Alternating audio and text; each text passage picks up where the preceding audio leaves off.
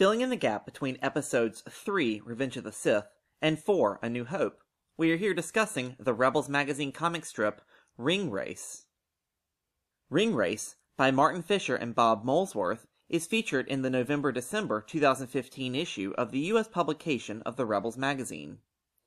This story takes place at some point during the first season of Star Wars Rebels, likely after Episode 5, Rise of the Old Masters, and before Episode 6, Breaking Ranks. The crew of the Ghost has arrived at the Ossusis station in the Ragani sector. The station is owned by Gallus Vez, a Besalisk who deals in, among other things, ship parts. In order to maintain the Ghost and stay hidden from the Empire, Hera and Kanan believe this is the only course of action to get the parts they need. However, when the crew gets to Gallus, he does not want to do his traditional deal with them. He claims that the Empire is doubling up on inspections, and there is just too much work for him to keep covering their tracks. He makes them a deal that Hera cannot refuse. Hera and Gallus are to race in his private race course, Fool's Run. If Hera wins, they get the parts they need, but if Gallus wins, he will take their ship and likely turn them over to the Empire as well. This deal seems too good to be true, which means it is likely a trap and Hera is up against odds that are not in her favor.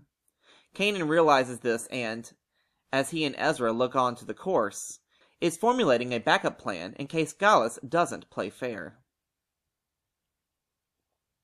As the race begins, Hera is off to a great start, but it is not long after she takes the lead that asteroids start colliding right in her path. Though Hera may not know why the asteroids are behaving as they are, we can see that there are thrusters installed on these rocks to make them move as Gallus desires.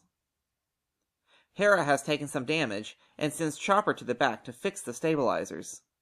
Kanan and Ezra have observed what is happening with the asteroids, and Kanan decides it is time to get involved.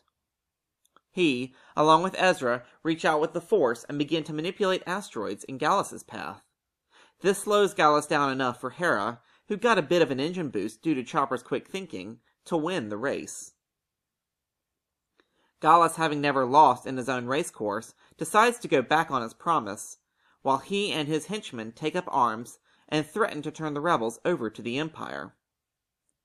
But it is the crew of the Ghost who has already made plans on the contrary.